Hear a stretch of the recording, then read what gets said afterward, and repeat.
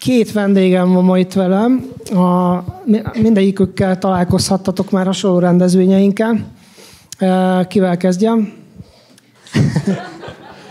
ABC sorrendben megyünk, akkor az egyik Dr. Móró, mind a kettő D-vel kezdődik doktorral, de Dr. Móró Levente, a két tudatkutató, és Finnországban doktorált ebben a témában, de igazából Magyarországon él, és a, hát elég sok köze van a dát.hu nevű oldalhoz, ami a magyar online pszichedelikus közösség oldala.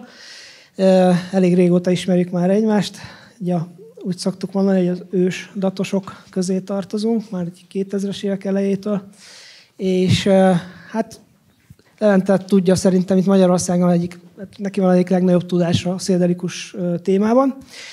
És a másik ember, aki szintén a, azt hiszem a top 3-ban benne van Magyarországon, ha, ha nem a top 1, de ezzel lehet vitatkozni, dr. Szigeti Balázs, aki pedig eredetileg fizikusnak tanult, de aztán átnyergelt az ideg kutatásra, és Skóci, pont Skóciában szerezte a doktoriát, és először kukacokat kutatott, és most pedig pszichedelikus szereket kutat. És egyébként az Imperial College-nek a munkatársa, kutató, erről a filmben is hallottatok, az az egyik legnagyobb, leg, legismertebb műhelye a pszichedelikus szerek kutatásának a világon. Úgyhogy, úgyhogy Bazsi a pszichedelikus kutatás egyik shining new sztárja, ilyen új felemelkedő csillaga, és, és hát majd azt mondd el te, hogy most éppen költözésben van Magyarországról, és hova is fogsz menni? Ki messze San Franciscóba, a, tehát szerintem igen, igen. Ö, tehát, hogy a Peti mondta, valóban az Imperial volt az egyik ö, első akadémiai intézet, ahol jelentősebb pszichedelikus kutatások voltak, de most már mondhatni gombamúlt szaporodnak a pszichedelikus kutatóintézetek, és hát igazából át, átigazolok a San Franciscói Egyetemre, és ott fogom folytatni. Azért szintén komoly, az is komoly. Hát a hippizmus fővárosa, tehát Igen. fektetnek ebbe, hogy az legyen a pszichedelikus kutatás mekkája. Így van. Na, nem szeretnék egyébként nagyon sokat így én beszélgetni a vendégekkel, készüljetek a kérdéseitekkel. Így első körben én azt kérdezném, hogy milyen benyomásokat hagyott bennetek ez a, ez a két film. Ja, tényleg azt nem mondtam el, hogy bocsánat a feliratos malőrér az elején, de úgy közben már nem tudtuk átrakni a tetejére a feliratot, úgyhogy hát mindig van valami, amit, amit nem tud az ember beszám, vagy betervezni, és nem úgy alakul, hogy kell, de annak azért nagyon örülök, hogy a második filmre már sikerült felrakni a, a feliratokat, úgyhogy mindenki láthatta.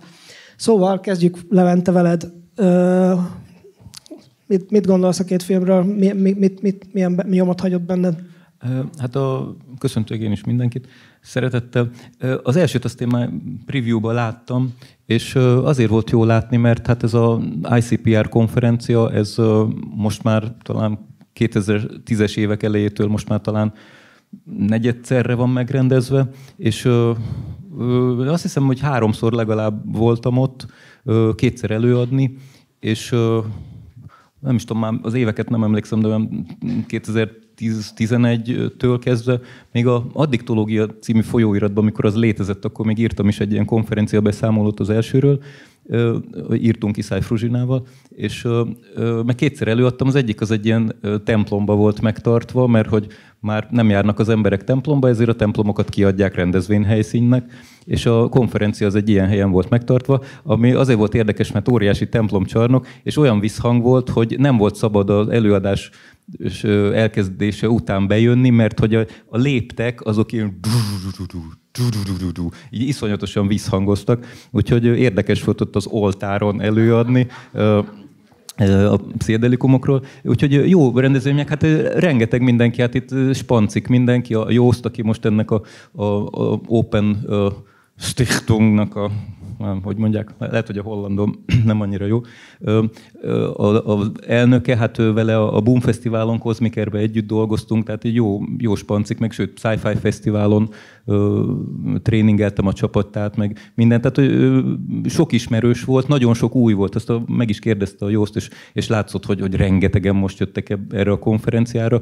Még talán az első ilyen kb. ilyen 100-150 ember, hogyha volt, mondjuk inkább 150, és most pedig hát egy, egy iparág lett az egész, ami hát a benyomásom az, hogy jó látni ezeket, de hogy azért ez nagyon elkommercializálódott, tehát most már én, hát én már nem járok ilyenekre, mert egyrészt az, hát nekem úgy személyesen ellenszemes, hogy most már egy MAPS konferenciára is nem is tudom, ami 800 dollárt kértek el belépőként, tehát ezek régen úgy, úgy hogy közben 4 milliárd dolláros iparág lett például csak a, a gombaipar, és tehát, hogy szponzorált konferenciára még ennyit elkérni a, a közönségtől, az szerintem már nagyon ilyen, hát egy kicsit olyan anti dolog. Úgyhogy, de jó volt látni az arcokat. Itt már gratuláltam is a Pistinek is, meg Petyának is, hogy nagyon, nagyon szépen összeszedték az interjúba a, a központi gondolatokat, és tényleg a hiteles arcok voltak. Mondjuk azt a pszichológust, aki ott fejtegeti, a, hogy nem több ezer éves a, a, a kultúra, hanem csak több száz éves, hát az mondjuk az eléggé kritizálható volt, mert hát végül is ő azt mondta, hogy a, a hát igazából az, az íra, a historical evidence-t mondta, meg a, nem az, nem az archaeologit mondta, tehát hogy és, és anekdotát mondott, ami hát tipikusan most mi hallottam a sámántól, aki hallotta, ezért, tehát hogy ez nem így megy. És tehát, hogy figyelmen kívül hagyta végül is a régészetet, ami egy egész lényeges rész, onnan tudjuk, hogy tényleg sok ezer éve más sírokban voltak ilyenek. Úgyhogy ez jó volt. A második filmet azt nem láttam, de hát hú, hát az nagyon ütős volt. Tehát, hogy minden sztori külön is, és, és így egybe is az egész. Tehát a, a páciens sztorik is, hát hú, hát ez, ez tényleg nagyon ütős. És itt a, a Pistivel beszélgettünk is, hogy a, a nénike is, amikor elmondja az elején, aki, hogy, hogy, hogy a rendőr, hogy a rendőr az életeket tesz tönkre, és közben egyébként azt hiszi, hogy az ő a jó érdekében, meg az igazságszolgáltatás életébe cselekszik, és így, és így nem megyünk ebbe bele, hogy de hát miért csinálod ember? Tehát, hogy tehát nagyon, nagyon nehéz témák, és a, hát a, a sztorik is hát így önmagukban is teljesen megálltak, és ez, ez nagyon, tehát ez egy, nem egy első randis film, mert eléggé azért erős emotional content van, de hogy tehát nagyon, nagyon ütős volt, tehát gratula mind a kettőért. De igen. Köszi szépen. Bazsit meg is lettél szólítva, de egyébként te meg voltál azóta egy még nagyobb konferencián, ami még, amit a Levente is itt említett azóta, ugye? Ami, ami igen, még igen, ott volt. voltam. Egy pillanatra visszakanyarodva az ICPR-ra, csak hogy a jó emlékek között 2016-ban mi is ott, nem ott találkoztunk először, de ott, ott lettünk barátok Leventével. És ott is a, a Drog Reporter stáb volt a, a hivatalos Így konferencia van. videóstáb, igen? Igen, igen, úgyhogy itt hármunknak jelentős ICPR backgroundja van. Egyébként jövőre júniusban újra lesz ez a konferencia, ez, a, ez az ICPR, azért ezt úgy kell elképzelni, hogy ez így félúton van egy ilyen nagy közönségnek nyitva lévő konferencia felé, és félig egy szakmai konferencia. Tehát mondjuk, amikor azért elmegyek én egy ilyen rendes akadémik konferenciára, azért az másképp néz ki, mint az ICPR, de ez egy olyan jó, hogy úgy mondjam, egyensúlyban van ott ez a kettő világ. Visszatérve a két filmre, nekem ami tetszett, az így a kontraszt a kettő között, hiszen mi az ICPA-ról, tehát erről a konferenciáról szólt, az már, úgy mondjam, egy ilyen előre haladott pszichedelikus világról szólt, ahol már arról beszélünk, hogy hogyan fognak ezek a szerek beilleszkedni a, a, a mental health care-be, hogyan fognak tudni a mainstreambe beilleszkedni, míg a skóciai film pedig sokkal inkább erről a, a, a grassroots movement részéről, hogy mégiscsak hogyan ö, kerültek újra felszínre a pszichedelikus szerek, mint ö, ö, gyógy gyógyászati módok, megható történetekkel, és valahol tényleg ezt kell, ezt a, ezeket a történeteket kell szem előtt tartanunk, ahogy megyünk előre a, a pszichedelikus reneszánszban, és hát itt a Levente már célzott itt a komercializációra, és hogy valóban, ahogy mainstreameződik a psychedelik, hogy azért, ö, ö, ö, úgy mondjam, lesznek nehézségek, de azokat a történetek, amiket a Skót filmben hallottunk, azokat kell szem előtt tartani, vagy azokat kell, hogy ö, ö, ott legyenek a fejünkben, amikor azokat a döntéseket hozzuk, és, és, és navigálunk előre, a, a, a, ahogy Rick Dobley mondta a Denveri konferencián, a Psychedelic 20 felé. És hogyha ugye, ugye most, mikor volt ez a konferencia Denverben, ahol te voltál? Jú, júni, jú, Június vége. És hogy hányan voltak? 12 ezeren. Tehát azért ebből is látszik, hogy ez tényleg egy, most, most azért ez egy eléggé berobbant a köztudatba ez a dolog és hogy mesélted, hogy voltak ilyen cégeknek ilyen motivációs előadásai is, az arról tudsz ja, és a Peti egy konkrét sztorira céloz, és ez, tehát ez tényleg megtörtént. Tehát, oké, okay, rendben egy ilyen konferencia, és mindenféle networking event van, oké, okay, rendben, és akkor így a, a, a, az elnöke, a CEO-ja a cégnek egy ilyen psychedelic startup, nem tudom melyik, mondott egy beszédet, teljesen rendben van, de egy idő után így átvágott a csávó egy ilyen, ilyen spiritual MCV, tehát hogy így körülbelül, hogy mindenki, aki jogázik, tegye fel a kezét. Are you ready for healing? Yeah! És a tömeg az teljesen megőrült. Tehát mindenki így healing, healing. Tehát vagyunk ez egy ilyen néhány ezres egy ilyen buliteremben, tehát így, így nem, nem, nem, nem értette senki, hogy most ez komoly, vagy szürreális, és szerintem aztán végül azzal mentünk, hogy komoly, és mindenki jól érezte magát. Ez a fajta szerintem ilyen túlzott, ilyen uh, spirituális lelkesedés, vagy nem is tudom, hogy hogyan nevezzem, de ez mert ugye a, a pszichedelikus kultúrának így a, a részévé vált. Illetve hát a kommercializálódásnak is egy része. Hát annak is fel lehet fogni egy elének, igen, de vannak még, hogy úgy mondjam, ilyen, mondjuk úgy, hogy kisimítatlan élei ennek a pszichedelikus mozgalomnak.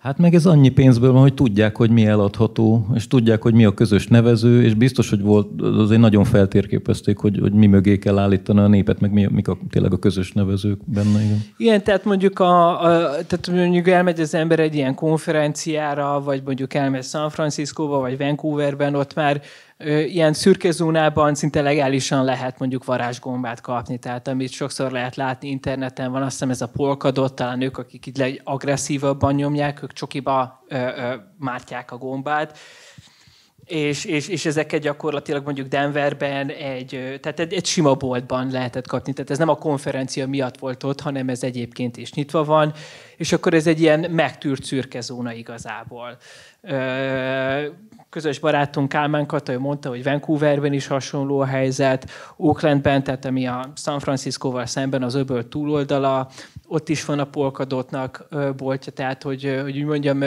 itt néhány év alatt azért annyira előre szaladt ez a történet, hogy ma már sok helyen igazából az ember besétál egy boltba, és vesz egy varázsgombás csokit.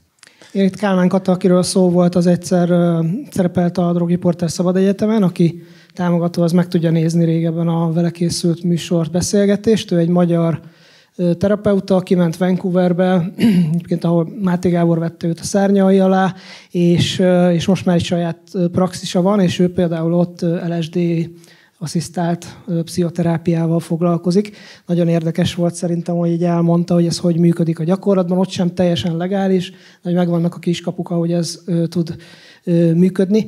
Itt, amit itt mondtatok, hogy azért nagy kontraszt volt a két film között. Én azt mondanám, hogy még így is a, még a skót szcénához képest is nagy kontraszt van Magyarország, és mondjuk a között, ami Skóciában hát, van. Még ezek a coming out sztorik sincsenek igazából igen, a igen. magyar közéletben. Tehát igen, lehet látni, hogy milyen, mennyire ö, hát nem, hasos, nem, nem azonos sebességben fejlődik a világ ebből a filmekből is. Tehát, hogy Amerikában mondjuk ez már egy teljesen bevett, egyre inkább mainstream váló dolog, Skóciában éppen már kezd, kezd el, valamiféle elfogadottságot nyerni, már van egy mozgalom. Magyarországon ugye még ez, ez sincsen igazából, vagy nagyon gyerekcipőben van, és hogy, hogy, hogy ezek, ezek itt, mint hogy teljesen külön párhuzamos valóságok lennének. De Magyarországon még az sincs, hogy egyáltalán tudjuk, hogy mi van a világ térképen. Tehát, hogy pont néztem, hogy azért nincs annyira összefoglalva, hogy például hányan tudják, hogy akár a medikannabisról, hogy hány európai országban van már medikannabis? Ez valahogy úgy soha nincs benne a hírekbe, vagy hány országban van valamilyen legalizációja a fűnek, vagy valamilyen dekriminalizációja, hány országban van pszichedelikus kutatás. Ezt így a szakmán belül azért a pszichedelikus kutatásokat tudjuk. Hát a Bazsi is átigazolt most, és hány ilyen más helyre igazolhattál volna át. Tehát, hogy rengeteg ilyen Psychedelic and Consciousness Research Center ember van az egyetemeken, de így tucatjával, ugyanígy a másik ez az iparág, tehát hogy nem tudom hány cég van, aki most pszichedelikum kutatás fejlesztéssel foglalkozik, és ki van listázva valamelyik értéktősdén, hát az is nem tudom, én, én 50-60-nál lemaradtam, azt hiszem, de hogy rengeteg cég van, akik most ebbe investálnak, és hát közép-hosszú távon akarnak ebből profitot, bármi, ami pszichoaktív, bármi, be lehet állni a WC frissítőn kívül, az mind rajta van egy vagy több kutatócsoport, hogy abból valamilyen gyógyszer hatóanyagot kifejlesztenek. És ez az, amit nem látunk. Tényleg emlékszem, hogy két milliárd dolláros volt csak a, a gomba biznisz, most már négy milliárd dollárosat szólta itt a Jószt, ha jól emlékszem, és, és tényleg így tucatjával vannak benne a cégek, és ez, tehát ez nem egy, nem egy kis jelenség. Mi azt hiszük, hogy aj, de jó, ez kis papír, meg minden, de nem. Ez egy óriási iparága, nem akkora, mint a Big Pharma, de azért ez small pharma, és nagyok ezek a cégek, akik benne vannak. Nem a Big Pharma cégei, de hogy, de hogy ez egy nagyon nagy jelenség máshol, csak nekünk nincs térképünk, ahol rajta lenne, hogy ez, ez tényleg mekkora. De egyébként most már a Big Pharma, tehát van öt nagy gyógyszercég, akiket így összességében Big Pharma-nak hívunk, tehát most már ők is elkezdték magukat bevásárolni ezekbe a, a, a pszichedelikus startup cégekbe. Most azt tudni kell egyébként, hogy ez a psychedelic business világ, ez jelenleg nagyon castrip, tehát nincsen senkinek pénze, mert igazából az van, hogy most már mindenki tudja, hogy 2024-re nagyon valószínű, hogy Amerikában az MDMA engedélyezve lett, és hogy itt szó volt a filmben is róla, nagyon valószínű, hogy fogja utána követni a varázsgomba. De amerikai kontextusban csak akkor éri meg ez egy biznisz szempontból, hogyha a biztosítók fedezik a, ezeket a pszichedelikus treatmenteket. És az egyik nagy problémája ezeknek a, a, a, az interventionöknek, hogy nagyon drágák, nagyon bonyolultak. Tehát a, szerintem most már van elég tudományos bizonyíték arra, hogy ezt ki lehet jelenteni, hogy mondjuk a pszilocibin az hatékony gyógymód a depresszió ellen, de baromira költséges, részben a, terepa, a terapeutás felügyelet miatt, részben pedig mert kellenek egyéb olyan ö, ö, safety guardok, amelyek egy normális terápiánál nincsenek. Elnézést tudom, hogy valamit angolul mondok, csak nem tudom, hogy ezeket hogy lehet magyarul lefordítani. És... Beszélgetős terápia? Beszélgetős terápia. Majd feliratozunk téged itt. Na jó, majd nyugodtan izé, mondj, tehát segítsetek, hogyha botladozok, de a lényeg, amit akarok mondani, hogy jelenlegi becsült költségek alapján egy gombaterápia, ez egy ilyen UK-es kontextusban lett kiszámolva, az kb. 7500 fontba ö, kerül.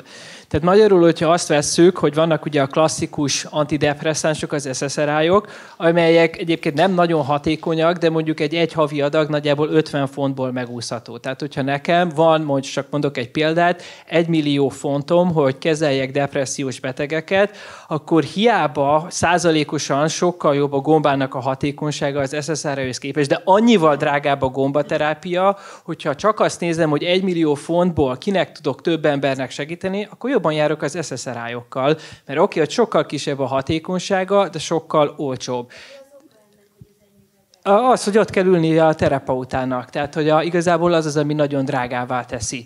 Tehát, amit sokan nem tudnak egyébként, hogy a, a, a pszichedelikus terápia és mondjuk a klasszikus beszélgetős terápia között. Nincsen óriási hatékonyságbeli különbség, csak egyszerűen az, hogy a legtöbb ember nem tudja magának megengedni a, a, a beszélgetős terápiát sem, és akkor ugye ezt még megfele, megfejeljük egy ö, ö, ö, intenzív, pszichoaktív élménnyel, amely nyilvánvalóan még bonyolultabbá teszi az egészet. Hozzá kell tegyem, szerintem pont emiatt van ö, ö, nagyobb potenciálja is, de ugye ezáltal nagyon elszállnak a költségek. Tehát ugye az egy dolog, hogy mi az, ami működik egy ilyen klinikai vizsgálati kontextusban, és az más dolog, hogy mi az, ami egy ilyen skálázható megoldásá válik. Tehát igazából amire itt vár a, igazából a piac, meg úgy érzem az a, ez a világ, ez most már nem az, hogy mikor lesz mondjuk az MDMA, FDA, tehát az amerikai gyógyszerfelügyelet által engedélyeztetett terápia, hanem arra, hogy a biztosítók fogják ezeket az irgalmatlan költségeket fedezni, hogyan lesz ez beépítve a különböző biztosítási package illetve, hogy hogyan lehet esetleg ezeket a költségeket lefaragni.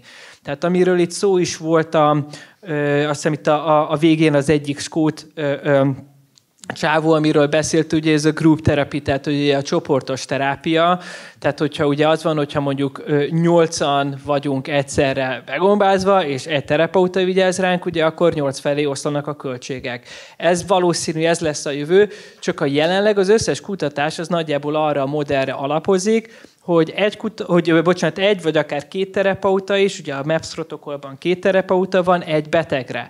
És ez alapvetően a, a, a biztonság miatt van ott, csak ugye, hogy úgy mondjam, ezekben a korai fázisú vizsgálatokban ez logikus volt, csak most már annál előlébb tartunk, és ezért át kéne váltani azt, hogy milyen kontextusban vizsgáljuk hatékony-e mondjuk a gombaterápia mondjuk egy ilyen csoportterápiás kontextusban is, mert hogyha a költségek nem fognak lejönni, akkor az lesz, amiben részben szó volt a filmben, hogy ez egy hatékony, elérhető gyógymód lesz, de csak az elitnek. Tehát, hogy egy ö, olyan irgalmatlan költségei lesznek, amelyek a átlag embernek Nyugat-Európában vagy éppen Amerikában is nehezen lesz elérhető. Oké, okay, de ki akar hét másik begombázott pszichiátriai pácienssel együtt trippelni? Ez...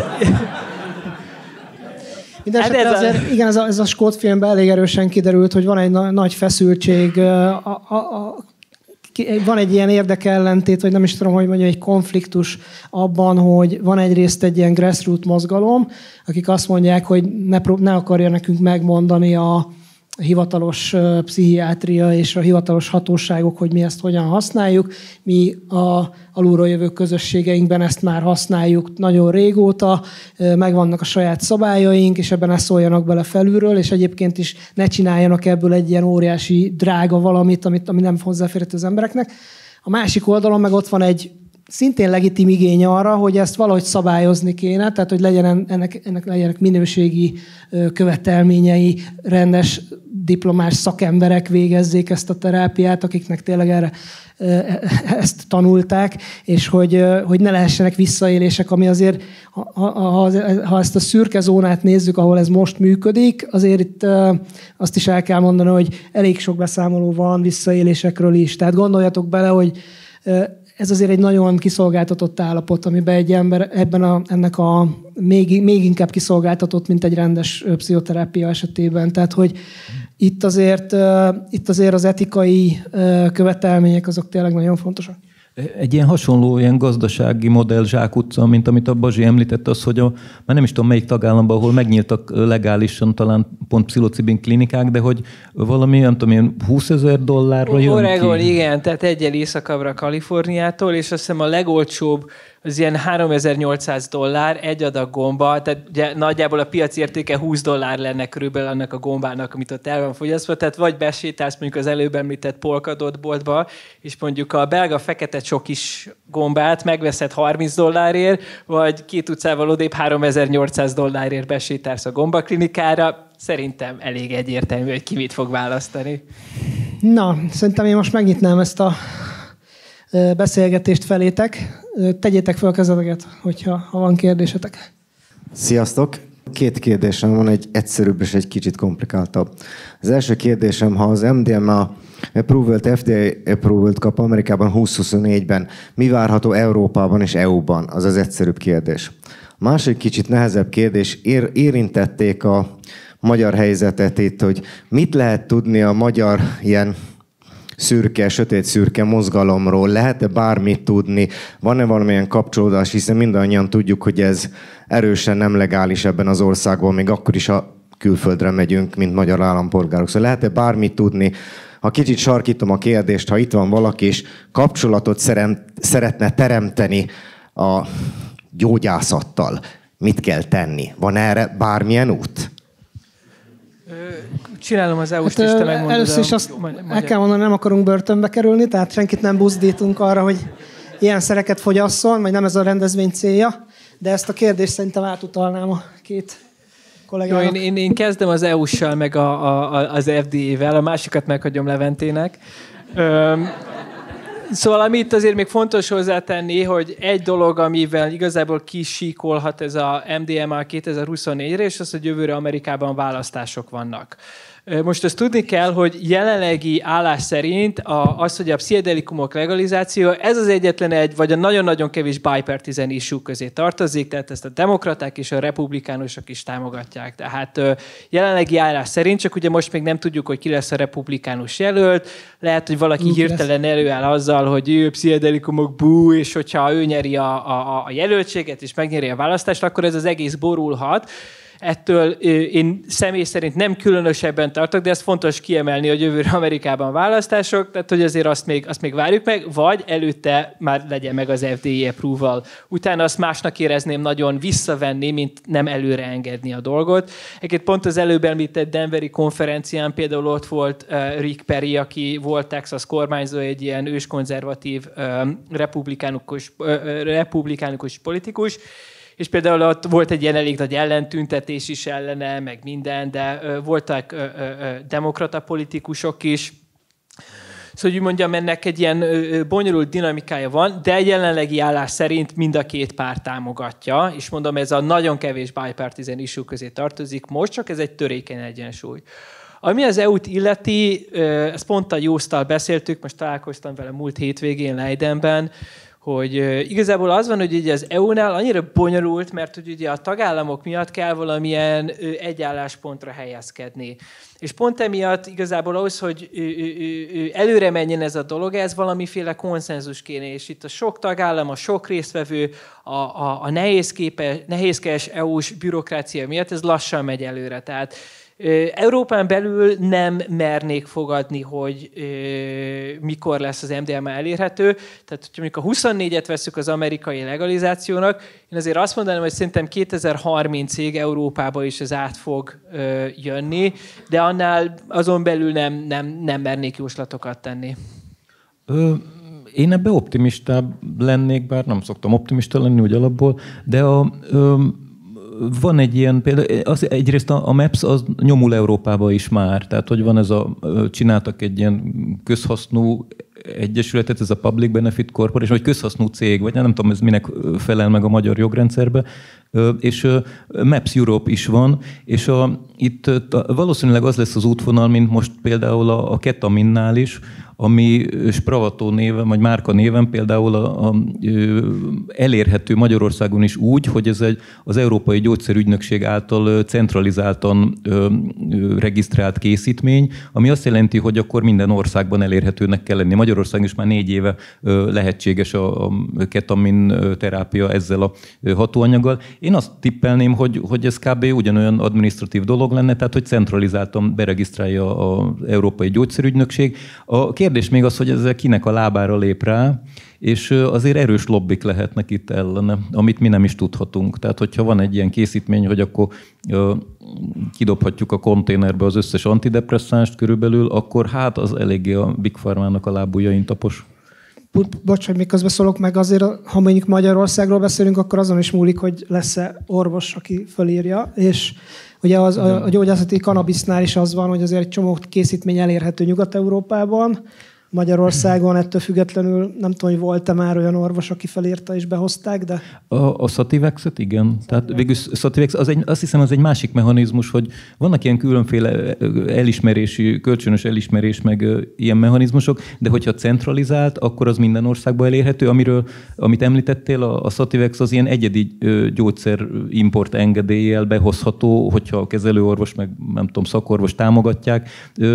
Az is lehetséges, de szerintem a centralizált az, az egy még egy lépés előre. Tehát van itt is van ketaminterápia, itt, itt ül a terapeuta terembe. Tehát ez, ez szerintem annyira, ez csak egy administratív dolog, de kérdés ez a lobbizás. Másik kérdésre megyünk?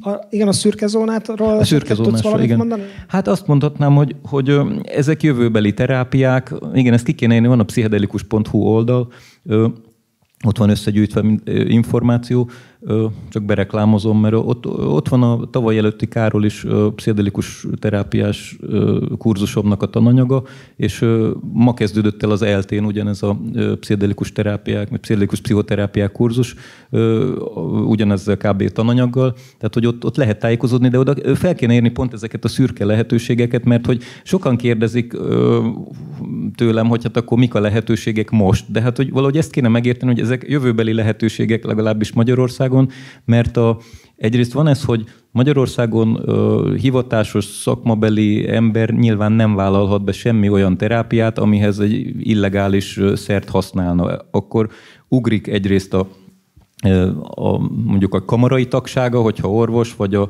vagy ha pszichológus, akkor is kizárják, megfurcolják, stb. És ezt senki nem fogja bevállalni egy páciensért, akit nem is nagyon ismer, és nem is tudja, hogy akkor most mi lesz a kimenetele egy terápiának. Nyilván, tehát, hogy, hogy profi szakember ilyet nem vállal be, már szakmai, etikai alapokon se.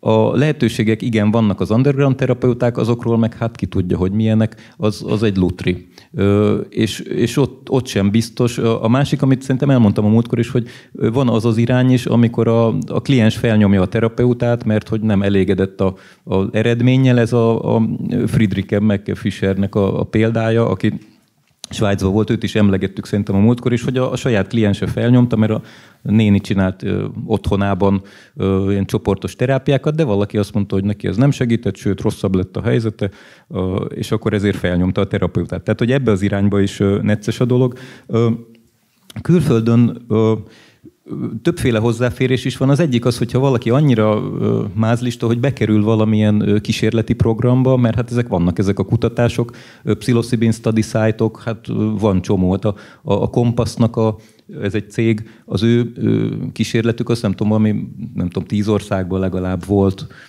igen, tehát most Hollandiában a Maastrichti Egyetemük az egyik Compass uh, site. A Compass Pathways ez a legnagyobb pszichedelikus cég, tehát és ők azok, akik a, a pszilocibinnel dolgoznak, és ők, akik most a harmadik fázisú pszilocibines vizsgálatokat uh, csinálják, és ebből az egyik, az egyik helyszín az, az uh, Maastricht. Mindig kérdezik tőlem, csak most is elmondom, ugye, mint a, ugye a Peti említett, én az Imperial vagyok, ahol elég sok klinikai vizsgálat van, de csak akkor lehet jönni, hogyha valakinek van NHS kártyája, tehát hogyha az angol egészségügyi biztosításban van, tehát akkor téged ne keressenek. Így van, én nem tudok senkit betenni. Ha, ha, ha NHS kártyája van esetleg valakinek, akkor is ez egy elég bonyolult, hosszadalmas folyamat. Egyébként ez nagyjából úgy néz ki, csak hogy el tudjátok képzelni, hogy, tehát, hogy az van, hogy majdnem mindig sokkal több a jelentkező, mint a hány hely van, és először mindig van egy ilyen telefonos interjú, tehát, hogy ahol megpróbálja felmérni a study coordinator, hogy mennyire komoly az elhatározása annak a személynek, felvenni valamilyen korképet, milyen kezelései voltak a múltban, pontosan mi a probléma és akkor általában utána megdobjuk hát rengeteg kérdőível, de tényleg ilyen nevetségesen sokkal. Én egyébként statisztikus vagyok, tehát én ezekből élek igazából, hogy aztán ezt kielemezzük. Tehát én nekem örülnöm kéne, hogy sok az adat, de tényleg abúzus az, hogy mennyi kérdőívre kell válaszolni a betegeknek. És ugye akkor az van, hogy mindig van ezt, amit ugye uh, inclusion, exclusion criteria, befogadási és kizárási kritériumok. Igen, tehát mindig van egy ilyen a sztadiknál, csak ugye mi ezt nem mondjuk meg a betegnek, vagy nem, legalábbis nem az összeset. Tehát, hogy abból az információt, amit összegyűjtöttünk, megnézzük, hogy ki az, aki ez alapján ő, ő, ő be tudunk engedni a vizsgálatra, és ez mondjuk általában mondjuk ez egy olyan 1 a 10-hez, 1 a 20-hoz között van az arány. Tehát, hogy minden 20 az, akinél ez úgy körülbelül össze tud jönni. Meg sokszor azon is múlik egyébként, hogy úgy mondjam az időpont. Tehát van úgy, hogy egyszerre mondjuk beesik négy beteg, aki minden négyet jól lenne tudni kezelni, csak egyszerűen nincsen annyi ö, ö, ö, helyszín, hogy ezt mind le tudjuk rendezni. Tehát most jelenleg az Imperialon a St. Charles kórházban ott, ö, ott van az új a Cypress, ez a Imperialnak a Clinical Psychedelic site de ott is igazából egyetlen egy ilyen ö, ö, ö, terapeutás szoba van, tehát ahol zajlanak maguk ezek a gombás Szóval ez, ez már úgy nem, igazából a kísérletek azok már elég sok helyen megvoltak, tehát most már a Magyarországon is, hát nem voltak ilyen kísérletek, a ketaminnal volt azt hiszem kis kísérlet, de a ketamin az már terápiás protokoll, tehát az már nem a kísérlet, hanem az már egy kezelési protokoll, ami Debrecenben volt, a Kenézi kórházban, meg itt, itt Budapesten is, az, az már protokoll, tehát a, a terápia rezisztens depressziós páciensek, aki elég kevés az összes depressziós közül végül is, tehát azoknak van rá lehetőség, de ez csak a ketaminra érvényes, mert az az egyetlen szer, ami, ami indikálva van ilyesmire.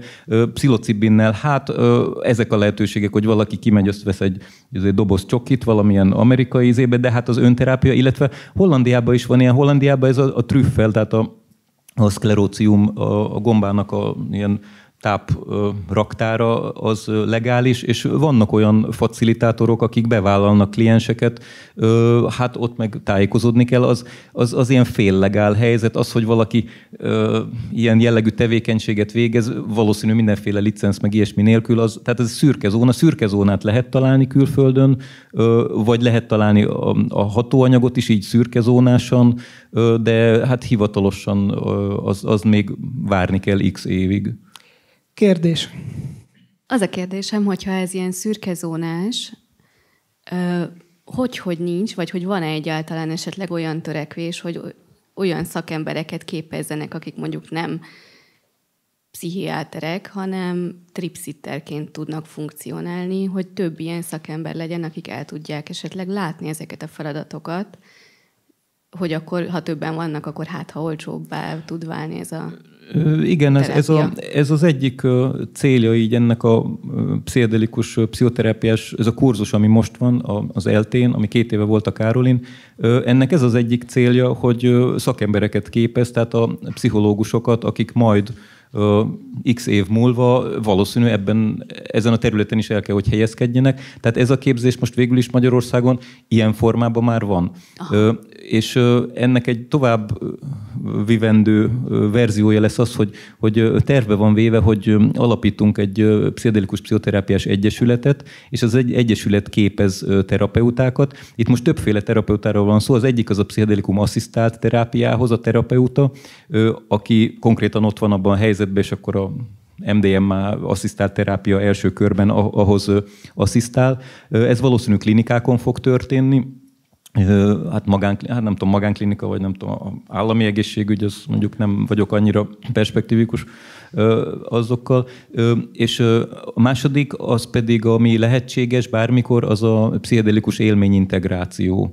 Tehát az is az, amikor nem ad a terapeuta szert a kliensnek, a kliens csak elmegy és elmeséli, hogy mit én most voltam egy ajahuaszka szeánszon, és ezt meg ezt láttam, éreztem, tapasztaltam, mit tudok ezzel kezdeni, és a többi. Tehát, hogy ennek egy része nem pontosan még az, amit mondtál, a sittingelés, hanem a felkészítés. Tehát egy, egy tapasztalt terapeuta vagy pszichológus az tudja, hogy miről van szó, főleg, hogyha részt vesz a kurzusomon és el is végzi, és utána ő a saját módszertanával tud viszonyulni a kliensekhez, és fel tudja készíteni őket, hogyha mondjuk valamelyik kliens ne adj Isten tervez valamiféle pszichedelikus Tehát ez a felkészítés. A szittelés az, az kétes ugyanolyan szempontból, mint ahogy a terápia is, mert hogy hát az, hogy egy pszichológus vagy egy pszichoterapeuta bevállaljon olyat, hogy ő most akkor egy, egy módosult tudatállapotban lévő klienssel ott sok órát együtt tölt, az nem annyira Hát, hogy is mondjam, lehetne ez életszer, életszerű is lehetne, de nem, nem ez valahogy nem ez a, a, a jelenlegi paradigmában a, a terapeuta meg a kliensnek a kapcsolata. A, tehát ez a, ez a szittelés, ami, ami ez, ez, csak szittelés. A szittelés az, amikor csak valaki ott van, és nem tudom, befűt a kájhába, meg hozza a teát, amikor valaki éppen ott gombázik, vagy ilyen hasonló dolgok.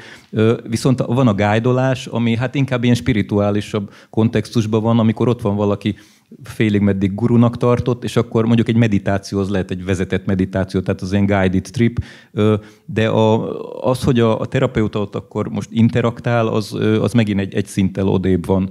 Tehát, hogy ezek ezekre ki lehet képezni embereket. A, itt a, az élményintegráció az talán a leglájtosabb szint, ott az a terv, hogy hát ott nem feltétlenül kell orvosi végzettség, vagy, vagy pszichoterapeuta, vagy ilyesmi, mert egy, egy emberekkel foglalkozó szakember az ezt el tudja végezni. Egy mentálhigiénés is esetleg? Hogy? Egy mentálhigiénés például? Ö, akár az is, mert például, ha példának vesszük a külföldi pszichedelikus terapeuta képzést, akkor ott nagyon nem az van, mint Magyarországon, hogy a 12 év alatt elvégzi a pszichoterapeuta képzést, vagy az orvosi, vagy a pszichológusi útvonalon, hanem ott, ott bevesznek kb. MA szintű képzettségű szakembereket, de akkor valamilyen emberekhez kapcsolódó foglalkozásnak kell lenni, tehát vagy pszichológus, vagy szociális munkás, vagy ápoló, vagy akár lelkész. Az egyetlen Magyarországról származó képzett pszichedelikus hivatalosan kiképzett pszichedelikus terapeuta, az a Mányai Márton, aki a IPI nevű intézménynél elvégezte a pszichedelikus terapeuta képzést külföldön, és az egyetlen, akinek van erről certifikátuma. Ott volt egy opció arra, hogy ketamint kapott, a, vagy kaptak azok, akik beixelték a kérdőíven, és akkor lehet saját élmény valamilyen ö, szerrel kapcsolatban, azért, hogy akkor jobban tudjon viszonyulni a kliensekhez, de egyébként ezek, hát ezek több ezer dolláros képzések, vagy több évig tart akár. Németországban is a Mind nevű alapítvány végez ilyen képz, vagy nyújt ilyen képzéseket. Tehát erre van lehetőség, de a pszichedelikus élményintegrátornak nem kell ilyen, ilyen szinten lenni, ott elég az, hogy akkor valaki akár mentálhigiénés szakember, vagy addiktológiai konzultás, bár nem tudom, ez nem kapcsolódik az addiktológiához, de mindenképp valami emberekkel foglalkozó szakma kell ahhoz, hogy a kliens munkára fel legyen készítve. Egy valamit csak gyorsan hozzátennék ahhoz, amit a Levente mondott, hogy most valóban nagyon sok az ilyen ö, különböző pszichedelikus ö, képzést adó intézet, amik adnak az embernek egy papírt, tehát az ember kifizet sok ezer dollárt, meg pénzt, meg időt, tehát hogy ez a papír mit fog érni, ezt senki nem tudja. Tehát, hogy ezek nem államilag elismert, akreditált intézetek. Tehát például ez a Mind Foundation, egyébként hozzá kell tegyem, szerintem ők értenek hozzá, tehát most ezt nem kritikának szánom, de ők kijelentették, hogy na, mi csinálunk egy pszichedelikus képzést, és a végén kapsz egy papír. De ez, hogy ez fog-e valaha valamit érni, azon kívül, hogy az ember elmondhatja, az, az, az jelenleg egy lutri. Most ezt csak azért mondom, hogy mielőtt valaki itt a családi örökséget feltenni egy ö, ö, ilyen pszichedelikus terapeuta képzésre, legyen vele tisztában, hogy, hogy ez, ez egy ilyen... Ö, ö, Szerintük ez egy jó képzés, nem azt mondom, hogy rossz, meg mondom, most nem a mindot akarom ki ö, ö, ö, vagy nem csak nekik szól ez az egész, de hogy ezek nem akreditált képzések, ezek ilyen önjelölt intézetek, akik úgy gondolják, hogy ők ismerik ezt a világot, és sok ezer dollárért adnak egy papírt róla. Nincs akreditált képzés, de, de akreditálható képzés van. Tehát valószínűleg az lesz, hogy a, a MAPS, mint a zászlós hajó, aki MAPS képzést végzett, az, az hogyha bármikor is lesz ilyen akkreditáció, akkor az, az PIPA, az arany, aranyatér, a nem tudom, California Institute of Integrated Science, CIS, szintén egy nagyon neves intézmény, valószínűleg ők is PIPA és aranyatérnek, és a, a többi meg olyan, hogy valószínű, hogy a, mondjuk a, a nem amerikai intézmények azok majd a saját governmentjükkel, meg egészségügyi minisztérium, egyes helyeken olyan is van, majd azokkal együtt kidolgozzák azt, hogy akkor mik lesznek a pontos kritériumok. Ezt lehet, hogy említettem korábban is, hogy ez, ez hasonló, mint ahogy itt a, a Magyar Orvosi Cannabis Egyesülettel is történt, hogy mivel a, az állam részéről nem tudta senki, hogy akkor most mit kell csinálni, hogyan, medik, orvosi cannabis, mit kell nekünk csinálni, mit kell aláírni, hova pecsételjünk, milyen kérdőívet töltessünk ki, és akkor a, a moke az, hát végül is nem tudom, kézen fogva, mondjuk nem, nem nagyon fognék kezet és miket, de hogy, de hogy a, a Moke az rendesen kollaborálva, hát ez nem is kollaboráció, szóval a Moke úgy kb. megmondta, hogy kb. milyen követelményeket kéne támasztani, és akkor utána valaki bólogatott, és aláírta, lepecsételte, stb. Valószínű így lesz a pszichedelikus terápiákkal is, hogy egyrészt így, tehát a terapeuta oldalról kell kidolgozni azt, hogy megmondjuk az államnak, hogy akkor mit kérjen, és mit akreditáljon. És valószínű minden országban, ahol van egy, egy ilyen, hát azért a Mind az a, a, a Charité Egyetemmel dolgozik együtt, tehát hogy egy neves, neves orvosi egyetem van végül is a hátuk mögött, és hogy valószínű ők elég jó tárgyaló pozícióban lesznek majd a saját governmentjükkel, vagy minisztériumokkal, amikor arról lesz szó. De az, az biztos, hogy a, még azt is lehet, hogy a, a különböző képzéseteket azt a, a MEPS-el lehetne akreditáltatni valahogy. Nem tudom, hogy ebben milyen mik most a jelenlegi fejlemények, de hát majd utána kéne néznem valamikor.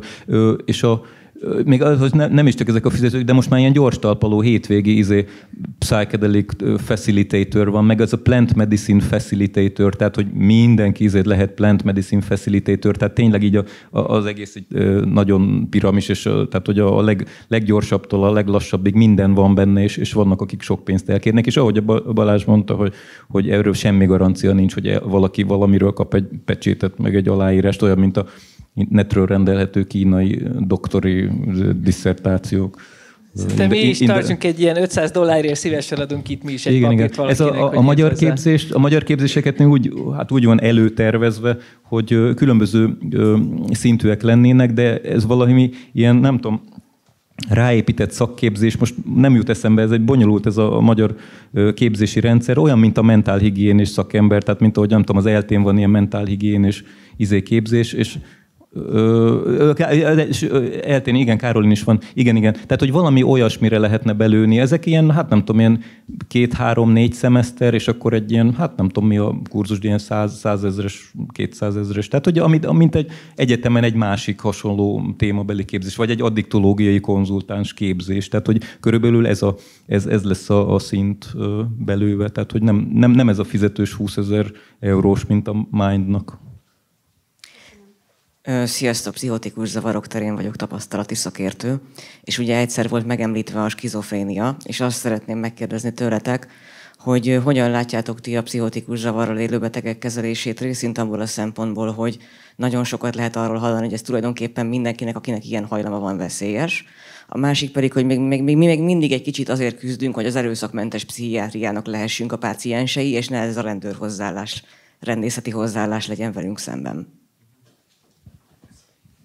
Hát mi nem vagyunk orvos szakértők, se pszichiáterek, de a, a, ha a közönségben van olyan, aki tudja kommentálni ezért szakmailag, akkor oké. És a, a, a pszichotikus dolgok azok, azok eléggé úgy, ö, hát ilyen red flag, mert hogy ö, azokkal elég nehéz mit kezdeni. Sokkal egyszerűbb egy, egy posztraumatikus stresszavar, vagy egy depresszió, azok valahogy egyértelműbbek, de így a, a, a bipoláris, meg a nem tudom, skizofrénia, azokra Ö, hát nem tudom, talán ayahuasca jut eszembe, de, de még az is olyan, ö, izé, hogy, hogy azzal ne, nehezebb mit kezdeni ö, pszichedelikumokkal. Ki, Igaz, ki, vannak, hogy... ki vannak zárva a klinikai kísérletek? Igen, tehát az pont, biztos, pont, igen. tehát hogy ez egy ilyen, most én a hivatalos klinikai vizsgálatos részét tudom elmondani, de ott minden ilyen beteget elfordítunk, mert egyszerűen túl, túl nagy a kockázata. Tehát, hogy egyszerűen most, amikor ugye próbáljuk előrevinni a pszichedelikus gyógyászatot, akkor ezekre a nagyon bonyolult esetekre nincsen felkészülve a rendszer. Tehát, hogy eleve ugye relatíve kevés pénz van,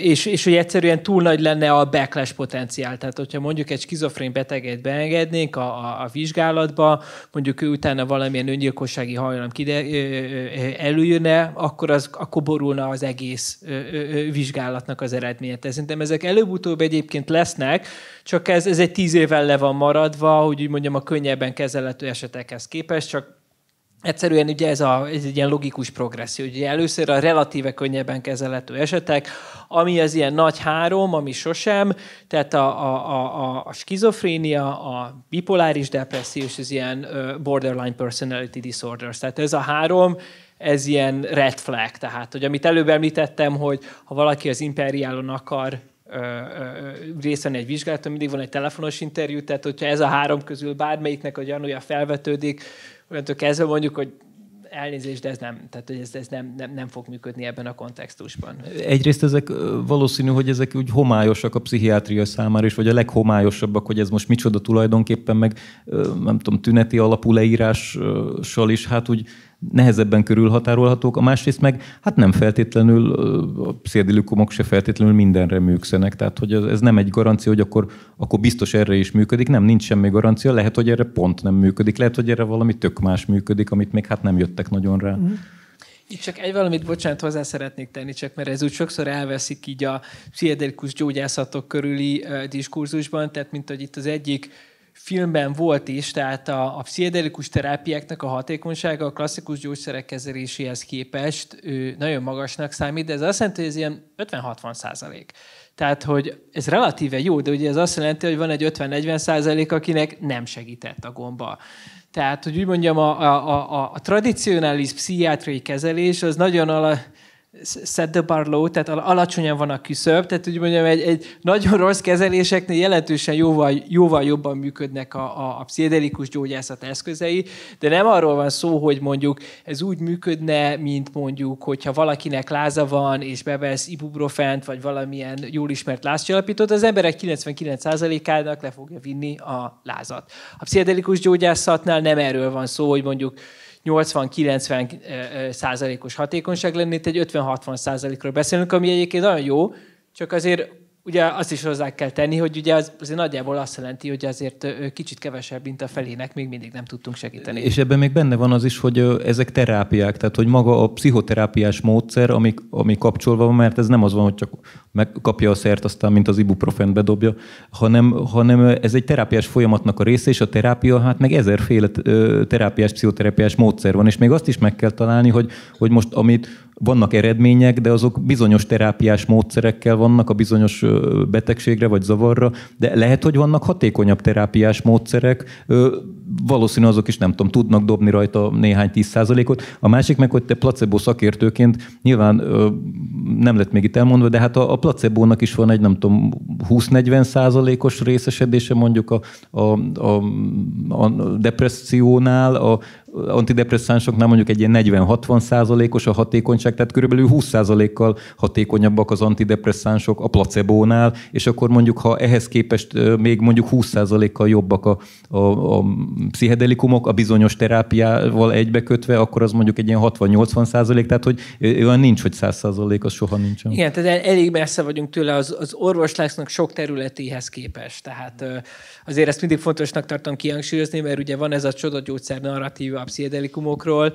de nem arról van szó, hogy a pszichedelikumok mindig, mindenkinek, mindenkor, minden betegségen segítenek. Ez egy más típusú probléma, ez nem egy olyan probléma, hogy, hogy biztos van rá egy megoldás, mint egy nem tudom, sakfeladványra vagy valamire, tehát nem egy olyan, ami így levezethető, csak még nem tudtuk levezetni, tehát hogy ez, ez nem egy olyan dolog, hogy egy fix, fix megoldás felé megyünk, csak lassan meg izét nem találjuk meg, hanem van, aminek soha nem találjuk meg a megoldását, tehát így működnek ezek a dolgok. De esetre az lehet látni, hogy a Balázs és a Levente végtelen mennyiségű időt el tudnak beszélni erről a témáról. Kösz. Néha most ennek a térfélen, hogyha van valakinek kérdése. Köszönöm szépen. A második filmben ahol a egyedi eseteknek voltak a beszámolói, volt egy érzelemtől fűtött beszámoló, illetve több érzelemtől fűtött beszámoló volt, ilyen tradicionális kontextusban használt pszichedelikumokról, és ott elmondta az egyik gyógyult vagy, vagy előrelépett páciens, hogy hogy a, az összes alkaloida, a sipibódalok, a sámánoknak a simogatása, meg még minden hozzájárult ahhoz, hogy ő meggyógyult. Miközben mi arról beszélünk itt, hogy milyen ö, hivatalos orvoslási képzésekben az elkülönített ö, molekulák és a, a milyen ö, ö, diplomás szakembereknek a különböző ö, minőségbiztosítási protokolljában mi lesz az, ami engedélyezett. Tehát tulajdonképpen ez vitatható, de én nem vitatnám azt, hogy milyen régen ö, használhatták ezeket a szereket tradicionális tudással rendelkező sámánok, ő nekik ezek szerint ebben a startupos világban egyetemek által kutatott, statisztikailag nyomon követett gyógyulási statisztikáknak a világában nem lesz lehetőségük használni azt, amiről mondjuk, vagy hát nem, nem afelé megy mondjuk, hogy mondjuk Magyarországon például valaki egy sámán kontextusban, ami tele van spiritualitással, tele van interpersonális, ott közösen abban a térben létrehozott értelmezéssel és, és jelentéssel, ami összességében gyógyít. Tehát mondta, hogy van egy hatalmas ö, közös pszichés mező, ami ott van, ami sokkal kevésbé leképezhető ilyen, ilyen ö, tudományos módon. Ö, tehát az, az, az a kérdésem, hogy mi lesz a sámáni modalitással és kontextussal ebben a, ebben a pszichedelikus reneszánszban külföldön, illetve az orvoslástól. Tehát ez szürke zóna marad? Kezdem, jó? Tehát amit fontosnak tartok hozzátenni, tehát amikor bármilyen kutatásnál arról hallunk, hogy varázsgombával gyógyítottak, az gonosz szintetikus pszilocibin. Tehát az soha életében gombát nem látott, az egy szintiszta kémiai, az egy molekula, és adva semmi természetes nincsen. Ö, szerintem ez úgy fog valahogy lezajlani, hogy, hogy haladunk a legalizáció felé. Először ez a nagyon szigorúan ez a steril, tudományos, nyugati orvoslós, kontextus, szintetikus pszilocibin lesz engedélyezve, és akkor onnantól kezdve fognak ezek a falak szép lassan lebomlani, és mondjuk elmenni afelé, hogy akkor mondjuk ne csak szintetikus pszilocibint alkalmazzunk, hanem mondjuk esetleg ö, ö, ö, organikusan termő gombát. Tehát szerintem ez, ez előbb-utóbb be fog jönni, csak ez még a legalizációhoz képest is x évvel hátrébb van. Ebben erősen megoszlanak egyébként a vélemények, hogy tehát amit itt az egyik a skóciai filmben az egyik ö, ö, ö, ö, beszámoló szólt róla, hogy ugye minden alkaloidnak ott kell lennie a, a, a növényben ebből mondjuk úgy, hogy akik a pszichedelikus kutatók között azért ez minimum 50-50, hogy valóban számítanak-e, ugyanis a többi alkaloid annyira kis mennyiségben van jelen, hogy egyszerűen annak nincsen biológiailag értelmezhető hatása. Tehát, hogyha ezt beteszem egy kromatográfba, akkor oké, ki tudom mutatni, hogy van benne más is a pszilocibinen kívül. Ez egy olyan minimális mennyiség, ami biológiai értelemben minimálisan vagy nem aktív. Most ezzel nem feltétlenül azt akarom mondani, hogy nincsen igaza, csak azt mondom, hogy ez egy erősen megkérdőjelezhető pozíció. Ami viszont a másik eleme, tehát hogy ez a közösségi elem, hogy egy közösség részeként végigmenni, ezek a sámánisztikus elemek, abból azért azt mondanám, hogy relatíve nagy konszenzus van, csak ez még nagyon más etikai problémákat vet fel. Tehát, hogyha mondjuk én vagyok egy sámán, és ö, ö, csinálok egy ilyen ceremóniát, hogy ugye akkor a saját világnézetemet mennyire impózolom a betegeken, ugye ebből, ebből lehet látni, hogy ezért rosszul is kijött. Tehát, hogyha valaki ott van atom begombázva, és én elkezdek mesélni neki a, nem tudom én, az igaz univerzális spiritről, ő pedig mellette meg egy keresztény, akkor lehet, hogy nagyon meg fog zavarodni, hogy akkor most mi is történik, meg mi van. Adott esetben el is távolíthatja a beteget a, a sámán felől.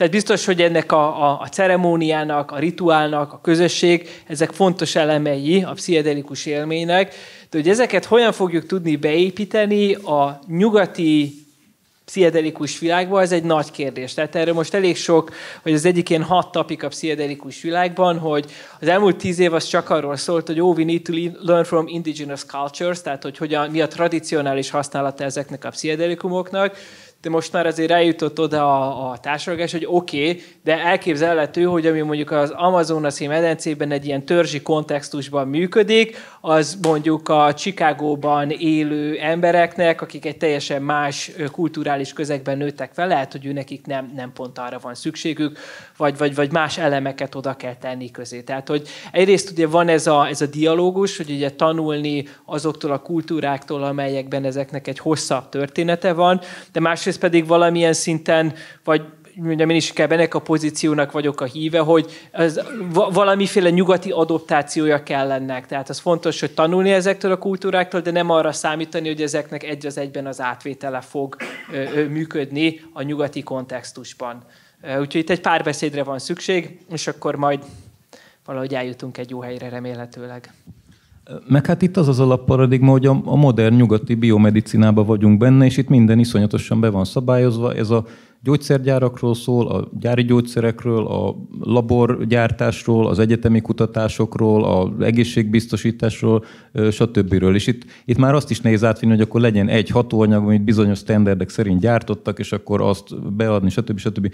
A másik, amit fontos megérteni, hogy itt az USA, meg a, hát a világ többi része között van egy jelentős különbség az, hogy az USA-ban van a, hát a vallásszabadság, amin alapul az egész, és ott alkotmányos jog a szerhasználat például a benszülötteknek, és nekik van ez a történelmi tervük, hogy ők kinyírták a saját benszülöttjeiket, elég nagy részt, meg rezervátumba zárták, stb. És most van egy ilyen megpróbáljuk kiegyenlíteni egy pozitív diszkrimináció által. Tehát ami a How to Change Your Mind filmben is volt, hogy a, ha az indián azt mondja, hogy mi használjuk a meszkalint, akkor azt mondják, hogy jó, az belefér a vallásszabadságba, meg egyébként is kiirtottunk titeket, mi fehér emberek, hogy jó, oké, akkor tehát az, az úgy meg van engedve. Ez Európában nincsen. Európában nincs akkora alkotmányos vallásszabadság, a Magyar Alkotmánybíróság is kimondta, hogy nincsen a bódulathoz való jog, ez nem egy alapjog, de Amerikában ez egy nagyon, nagyon speckó téma. És ott nem nagyon lehet beleszólni, hogyha valaki azt mondja, hogy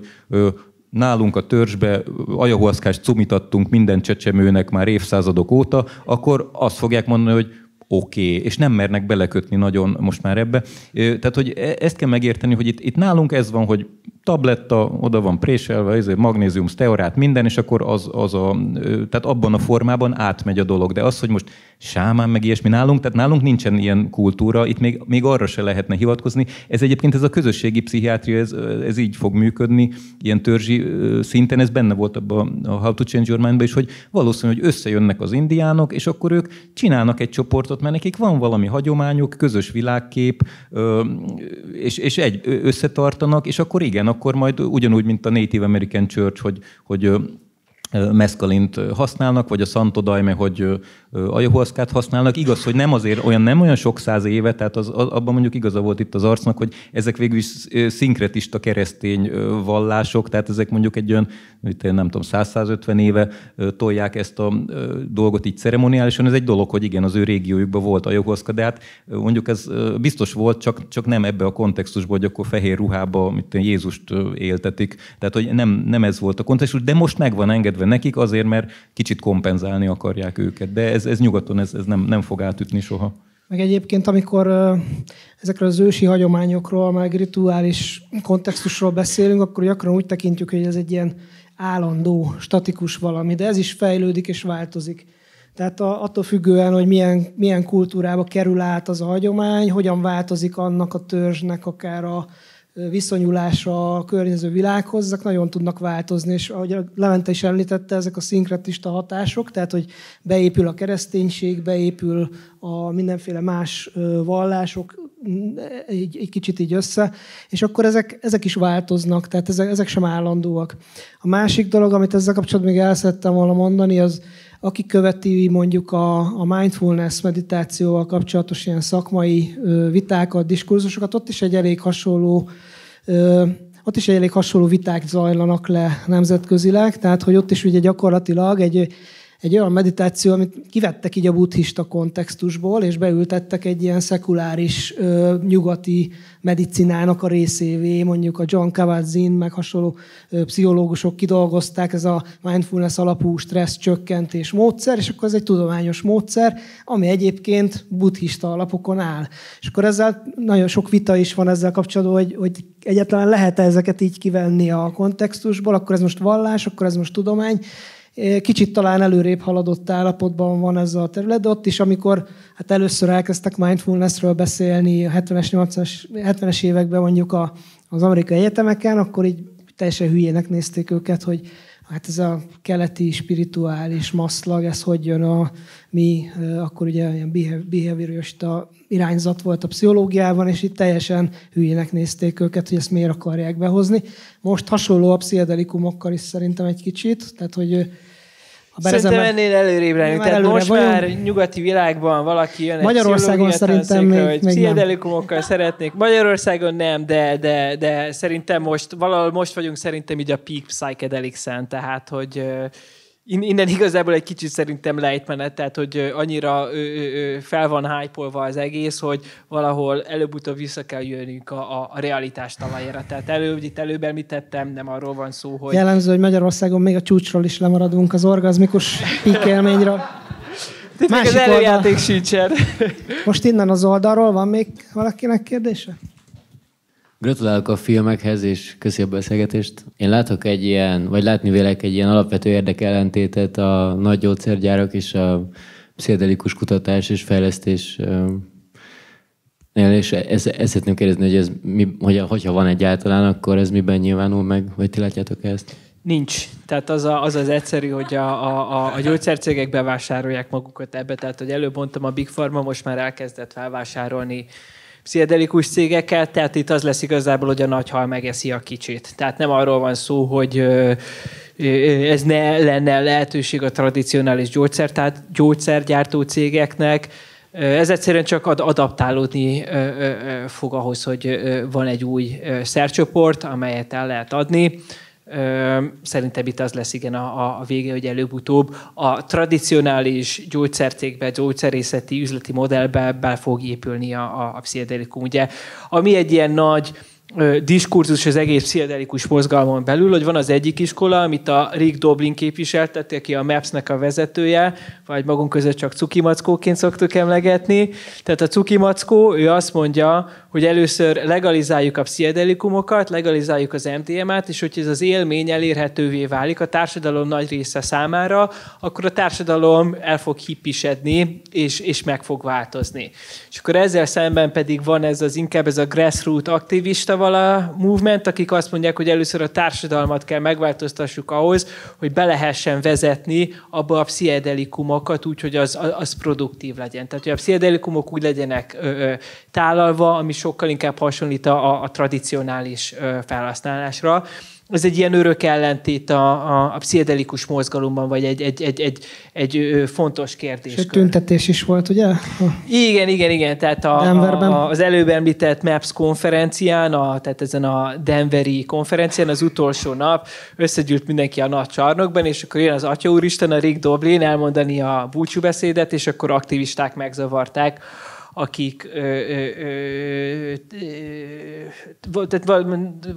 Dél-Amerikából jöttek, és lényegében ez ellen tüntettek, hogy ugye ahelyett, hogy a MAPS azon dolgozna, hogy megváltozzon a társadalom, ahelyett inkább ebbe a romlott kapitalista világba akarják a pszichedelikumokat bevezetni, és hogy így semmi értelme nincsen igazából az egésznek nem tudom, hogy a romlott kapitalista világ ellen van-e bármi ellenszer, tehát annak nincs igazán alternatívája, az mindent felszippant, pszichedelikumokat, meg mindent, tehát hogy elég nehéz ebből kiesni, vagy kint maradni. Azt nem tudom, az lenne egy érdekes dolog, hogyha tényleg találnának valami olyan szer plusz terápia kombinációt, hogy mondjuk egy depresszió az így két kezeléssel elmúlna, akkor mit szólna a Big Pharma, amikor mondjuk akkor nem tudná eladni az antidepresszánsokat? Tehát, hogyha úgy, úgy, úgy globálisan az össz, össz összgyógyszer mennyiség az úgy lecsökkenne azért, mert sokkal hatékonyabb gyógyszereket feltalálnak, de ez valószínű nem az irány. Jó, csak ugye akkor ugye áttevődik a kérdés arra, hogy eddig tudtam, most csak mondok egy számot, évente egy milliárd dollárt csinálni, és sajnos meggyógyulnak a betegek, tehát most már csak évi 200 milliót fogok tudni, de még mindig inkább csinálok 200 milliót, mint kimaradok a buliból. Uh-huh. Tehát, hogy...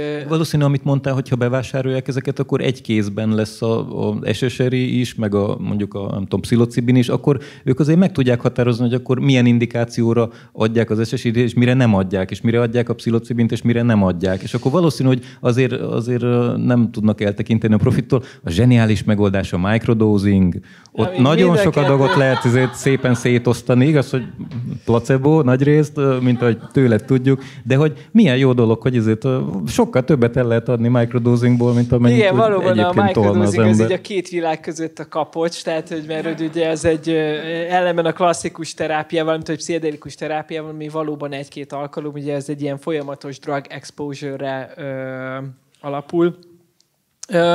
Amit itt azért fontosnak tartok elmondani, tehát nem arról van szó, hogy szerint tehát te, te, lesznek olyan betegek, akiknek jobban fog működni az SSRI, mint a, tehát a klasszikus antidepresszánsok, mint mondjuk a pszichedelikumok. De szerintem nem arról van szó, hogy ezek a pszichedelikumok hogyha meg is oldjuk ezt a költség problémát, nem arról van szó, hogy akkor a pszichedelikumok teljesen kiütnék a tradicionális gyógyszereket, hanem inkább valószínű arról van szó, hogy bővülni fog a terapeutáknak, a pszichiátereknek az eszköztára, és több fajta gyógyszercsoport van, amihez lehet nyúlni, és ez meg, a, a, a hogy úgy mondjam, a, ugye szokták mondani, hogy az orvoslásnak van egy ilyen művészi kreatív komponense is, tehát hogy ott meg majd azt az orvosoknak kell arra ráéreznie, hogy melyik betegnek melyik gyógyszercsoport csoport az, ami jobban valószínű, hogy működik. Tehát például, hogyha valaki, aki nagyon tart a kontrollvesztéstől, óckodik a módosult tudatállapotoktól, akkor lehet ne erőltessük a pszichedelikumokat, hanem nézzük meg először az SSRI-t, és hogyha nem működik, akkor még mindig lehet a pszichedelikumokkal próbálkozni.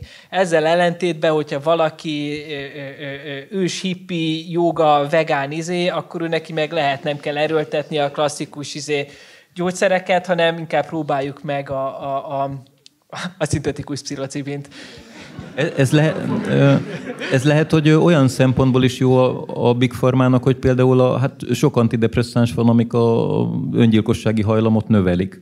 Viszont a, itt, ahogy láttuk ezekből a nagyon megrázó beszámolókból is, hogy, hogy itt egy, két kez, egy, egy kezelés után az öngyilkossági hajlama az jelentősen csökkent az illetőnek. Igaz, hogy persze a Big Pharma be van biztosítva ez ellen, mert csak rá kell írni a termékcsomagolásra, hogy egyébként azért lehet, hogy öngyilkosság lesz a vége, de hogy lehet, hogy persze ez, ez azért hasznosabb, hogyha mondjuk egy bizonyos cég azt tudja mondani, hogy és akkor a mi termékpalettánk bővült, és sokkal kevesebb öngyilkos lett a mi saját szereinktől. Még az, az egy analógia jutott eszembe, hogy ahogy a medicannabis kihatott a, a opioid fogyasztásnak a csökkenésére, ami végül is a, Hát olyan szempontból nyilván profitvesztés a, a Big Pharmának, hogy akkor kevesebb vájkodint, meg ilyesmit tud eladni, kevesebb opioid alapú fájdalomcsillapítót, mert a medikannabis az hatékony. Meg ugye az alkoholiparnak is visszaesés. Igen, az egy másik, ez egy harmadik analógia, de most ez jutott először eszembe, hogy végül is a, ugyanilyen alapon akár a Big Pharma, a opioid gyártók bevásárolhatnak a medikannabis részvényekből is, és akkor nekik is, vagy, vagy megvehetik a céget, és akkor nekik is bővebb a termékpaletta, és akkor ők is mondhatják, hogy oké, okay, nem pereltek minket annyian, mondjuk igaz, hogy zsebből kifizette a Purdue Pharma, azt nem tudom, három milliárd dollárt vagy valamit, amit a megtévesztő marketingért kapott. Egyébként a, a, a gyógyszercégeknek nagyon-nagyon mocskos háttér történelmük van, ezt, ezt hát nem nagyon szokták tévébe reklámozni az esti film közben, a gyógyszerreklámokba, de aki utána olvas, hát az összes Big Pharma cég rengeteg bírságot kapott évtizedek alatt, mert annyira megtévesztő marketingük volt, meg annyira piszkos gyakorlataik, meg annyi kutatást eltitkoltak, meg kockázatot egyszerűen elhallgattak, hogy ez, ez nem az van, hogy jaj, ezért aranyos fehér köppenyesek, hogy mindent ezért megtesznek értünk, hanem a francokat, ez egy, ez egy teljesen profitorientált szektor, és ahogy, ha az van, hogy oké, okay, ezért meghal mondjuk ezért pár tízezer ember, de hát majd ezért kifizetjük a, ezért a class actionbe a, a kártérítést, és akkor jó, három milliárd dollárt, hát kifizetjük a három milliárd dollárt, igaz, kaptunk ötöt a gyógyszerekből, meghalt mondjuk mint én pár tízezer ember, de ezért még így is profitábilis. Tehát ez, ezek, ezek ilyen beépített eleve rossz mechanizmusok, ezeket át kéne látni. Csak említetted, a, azt hiszem a Johnnak a beszámolóját említetted, ami ugye mondtad, hogy megrázó volt, szerintem is egyébként az, annak egy kicsit a hátteréről annyit, hogy ővele beszélgettünk még a, a, a beszéde előtt, és ő így az utolsó pillanatig hezitált, hogy mennyit fog elmondani. Ez ugye nem tudom, mennyire jött át, hogy ez a meghallgatás, amin ő beszélt, ez a Skót parlamentben volt. Tehát a Skót parlament épületében volt, és, és voltak ott parlamenti képviselők is, meg, meg nekik az asszisztenseik, és hogy ő soha senki, tehát nagyon kevés emberre beszélt, besz, nagyon kevés ember előtt beszélt eddig erről az élményről, és így ott abban a pillanatban döntött el, hogy ezt, ezzel ő kijön. Tehát itt mi is teljesen le voltunk ezen döbbenve, mert hogy interjút is készítettünk vele, és akkor azt mondta, hogy hát nem biztos abban, hogy ezt uh, felhasználhatjuk ezt az interjút, és, és akkor utána ott, ott viszont ezzel így úgymond coming out hogy, hogy ezzel a történettel előjött. Úgyhogy ebből a szempontból is ez egy, ez egy elég hát, pszichedelikus történelmi pillanat volt, hogy ő ezzel előjött, és tényleg szerintem nagyon erős és ezek a történetek, most a, itt sokat beszéltünk kutatásokról, meg mindenről, hogyha a társadalomnak a gondolkodásának a megváltoztatásáról van szó, akkor azt gondolom, hogy ezek az ilyen egyéni történetek, még a, a tudományos evidencia piramisnak legalján is vannak, de a társadalom meggyőzése szempontjából bizony ezek nagyon fontosak. Van még esetleg valakibe beleszorult kérdés? Én azt szeretném kérdezni tőletek, hogy a,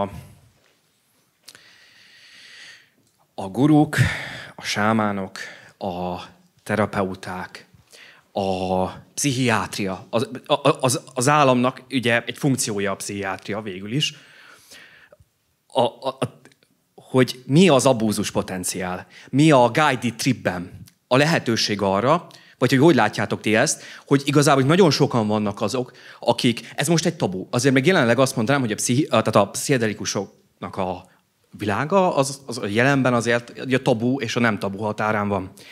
És régebben ez persze nem így volt, tehát ugye az MK Ultra idején, meg amikor még a aranykorát élték a pszichedelikus szerek, akkor, akkor ugye mindenki, mindenki a határait kereste ennek a dolognak. Mi a, mi a, mi, tehát hogy lehet elkerülni a, e, tényleg ugye a guided tripből abból, hogy, hogy ugye hát abból kifolyólag, hogy egy szugesszív állapotban vagy, miközben tripelsz, egy nagyon szugesszív állapotban vagy, hogy mi a, mi a, mi a módja annak, hogy ezt a, a elved, tehát én nem bízok se a sámánban, se a pszichiátriában, se, de én egy ilyen, már csak egy, hogy mondjam, egy ilyen, nem tudom, ilyen bizalmatlan ember vagyok, hogy jó, jó, jó, jó-e az, hogy ilyen gyorsan így kiugrunk a tabuból? Ez a kérdés. Tehát azt hozzátenném, hogy ugye ez most egy, ez egy sokat emlegetett téma a pszichedelikus gyógyászatban, ez az abúzus potenciál. Tehát ahogy mondod, egy szuggesztibilis állapotba kerül az ember a pszichedelikumtól. Ugye eleve a terapeuta, beleg, terapeuta beteg viszony, az egy bizalmi viszony, és ugye akkor azt megfejeljük egy ilyen nagyon erős, intenzív, MDMA esetében sokszor nagyon érzelmi töltetű élménnyel, hogy akkor ez, ez félre mehet. És az egyik MAPS trial-ben, az MDMA terápiánál a, a terapeutának a, a, a betegével a terápia lezárulása után szexuális kapcsolatot létesített, és egy ilyen elég fura viszony volt, hogy ott lakott a garázsban a lány, és tehát úgy mondjam, konszenzuális alapú volt aztán ez a szexuális viszony, de érzelmileg abuzálva érezte magát, és, és erről készült is egyébként egy nagyon jó podcast, Cover Story néven, ezt mindenkinek ajánlom, ez rendkívül kritikus a pszichedelikumokkal kapcsolatban, részben emiatt a abúzus potenciál miatt. És igazából ennek a Cover Story podcastnek kettő része van. Az egyik az erről, ezzel az esettel foglalkozik, és amennyire én tudom, ez az egyetlen egy olyan eset, amikor, hogy úgy mondjam, egy ilyen hivatalos klinikai vizsgálaton belül történt ilyen jellegű abúzus. És a podcastnek a másik fele, az pedig azzal foglalkozik, amiből viszont rengeteg történet van sajnos, hogy valaki, mondjuk egy lány egyedül elmegy Perúba egy ajavaszka szertartásra, és ott a sámán, vagy valaki abból a közegből megerőszakolja. Sajnos ebből a sztoriból rendkívül sok van. Most ugye az van, hogy úgy mondjam, ezzel ellen sokkal nehezebb védekezni, mert hogy a, ugye ott nincsen pontosan egy ilyen regulation, az, az hiányzik az egészből, ugye, hogy ki, mikor, melyik megy be. Szóval, köszönöm szépen. Az, hogy ez a klinikai vizsgálatokban hogy fog zajlani, úgy gondolom, hogy pont, pont, pont ez a legalizációnak az egyik haszna, hogy azáltal, hogy felszínre kerül az egész, sokkal könnyebb lesz ezeket az ö, ö, ö, etikai kihágásokat észrevenni, és a nem megfelelő terapeutákat kiszűrni. Ez pont most mondom erről, erről most sok beszélgetés zajlik a pszichedelikus világon belül, hogy ennek mik a, a, a legjobb módjai, nincsenek jelenleg megoldások, de ez egy aktívan vitatott téma.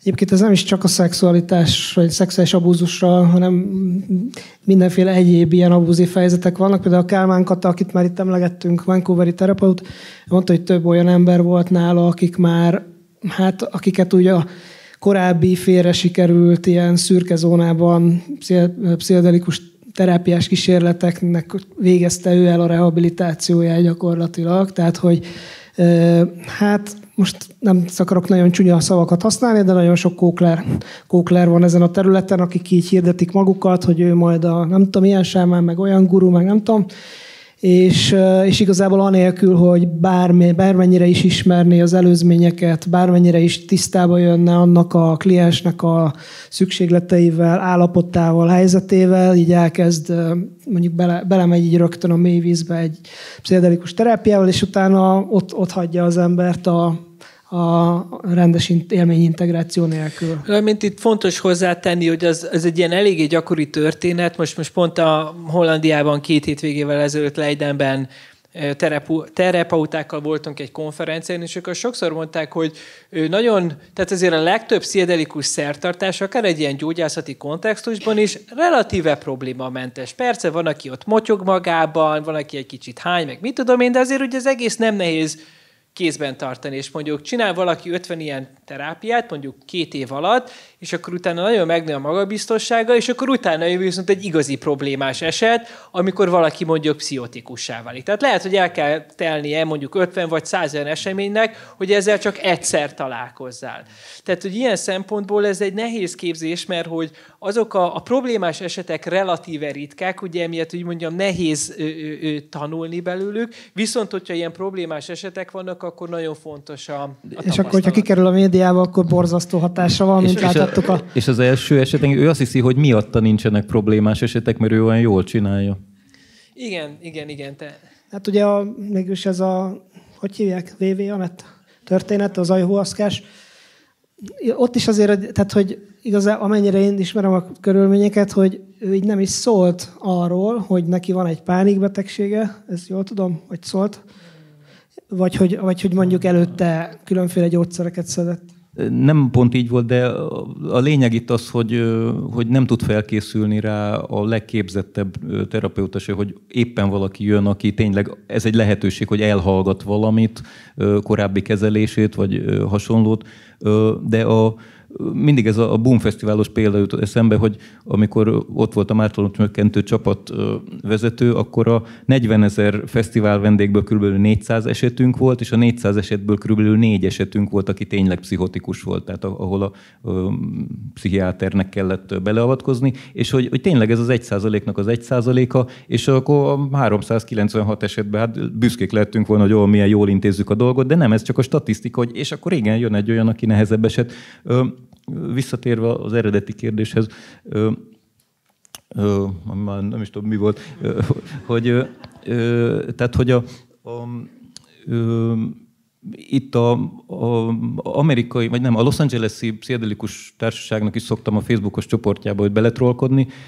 és a, valaki ott azt mondta, hogy mert valamire rácsodálkoztam, és azt mondta, hogy a Amerikában ez tudva levő, hogy a, a legtöbb abúzust azt a pszichiáterek végzik a saját pácienseiken, tehát ez egy tényleg valós probléma, mondjuk a többi orvoshoz, meg egyébhez, nőgyógyászhoz, akármihez képest, és hogy ezért kell nagyon vigyázni, és a, az egyik ilyen biztonsági intézkedés az, hogy a, például itt a terápiás protokollban nagyon meg van szabva, hogy nincs ilyen one-on-one terapia, hanem mindig legalább két terapeutának kell jelen lenni, plusz a protokoll szerint készül vagy kép, vagy hangfelvétel, vagy mindkettő, tehát hogy doku, teljesen dokumentálva van minden pillanat, hogy ki mit mond és mi történik. Tehát, hogy ezekre vannak protokollok, és a képzésnek ez az etika, ez egy nagyon erős része. Ez nem tudom, amit említettél, hogy az, az, az a MEPS-es MDMA kutatás során volt ez az eset? Igen, és ott, tehát ott pont ugye volt is így videó, tehát hogy, mint, tehát, hogy igazából a két terapeuta, tehát egy férfi meg egy nő, akik egyébként by the way egy házas pár. Ja, igen. És hogy akkor ott, tehát hogyha mi most így két oldalról így megölelnénk a Petit, ő közben be van MDMA-zva, és így simogatnák.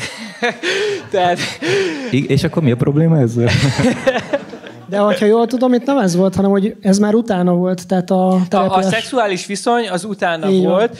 de ő azt mondja, a, tehát aki az alanya, aki elszenvedte ezt az egészet, a beteg, hogy ott egy olyan érzelmi függő viszony alakult ki a, a terápia során, ami aztán szexuális viszonyban is átalakult. De maga a szexuális viszony az nem az MDMA terápiák alatt kezdődött el. Azt hiszem úgy volt, hogy talán megy az utolsó integrációs session előtt, de nem a, nem a drog hatása alatt. Tehát, hogy ez egy, de hogy ott alakult ki egy ilyen függőségi mhm. viszony, ami aztán oda vezetett. Meg azt, azt nem tudom, hogy a múltkor említettem hogy, hogy volt MDMA terápia ezelőtt is a végig a 80-as év, 70-es évek második felébe, talán 80-as évek első feléig, amikor rengeteg ember kapott MDMA terápiát az USA-ba, nem legálisan, hanem a szürke zónásan nem volt betiltva az MDMA egész talán 85-ig, és ezek a régi terápiás módszerek voltak ilyenek, hogy minden terapeuta alkalmazta a saját módszerét, és volt ilyen terápiás módszer, hogy a, a páciens magzatpózba lefekszik a földre, a terapeuta az így mögé fekszik, és átkulcsolja, és akkor az a szesszió. Na hát ez most valószínűleg eléggé villogtatná a piros lámpát, és nem menne át a protokollon, de ez is egy módszer volt, valamilyen magzatpózos, nem tudom, regresszív izé, és ez egy ezért full kipipálható módszer volt, csak hát az, hogy ez, ez mennyire ad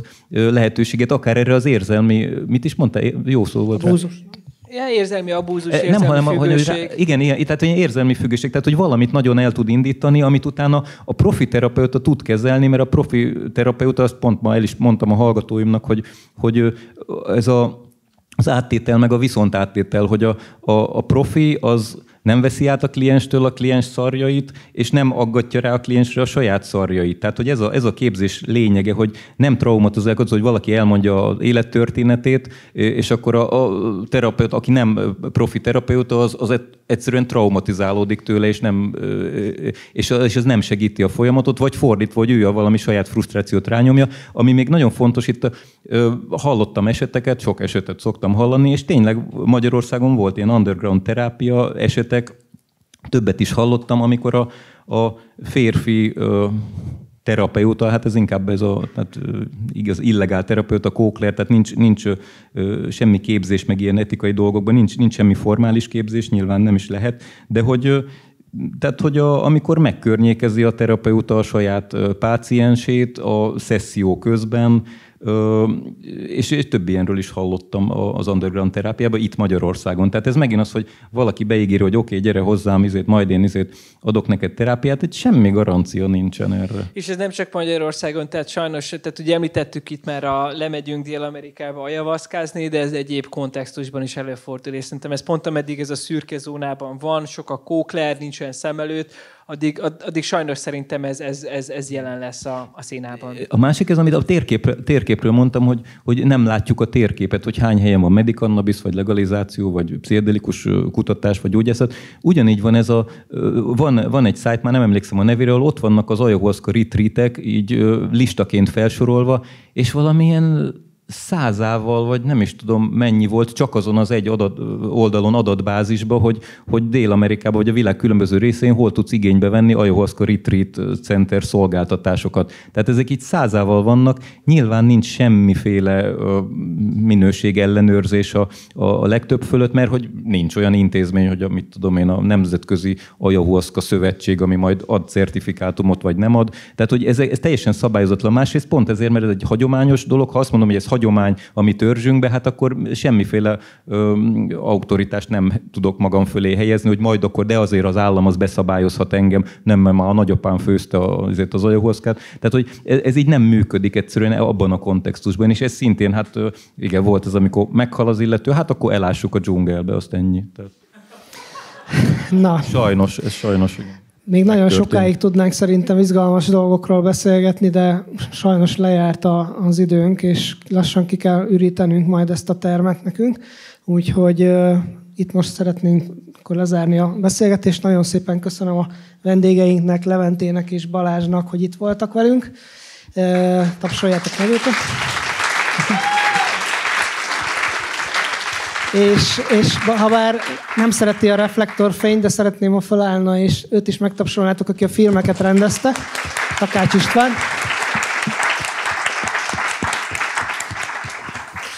Köszönjük, hogy itt voltatok, és hát lesz majd még idén remélhetőleg lesz még egy, legalább egy drogriporter, mi az igen, drogriporter szabad egyetem. Feltéve, hogyha a Baba projekt nem fogja nagyon elvinni a dolgokat, de még egyet, egyet szerintem be fogunk tervezni. Hát Bazsi már nem lesz itt, mert San Francisco lesz, de majd te még jössz majd vissza nyár, nyarakon, úgyhogy majd remélem, hogy veled is fogunk találkozni. Levente meg itt lesz törzs tagunk most már lassan. Köszi, hogy itt voltatok. Köszi szépen.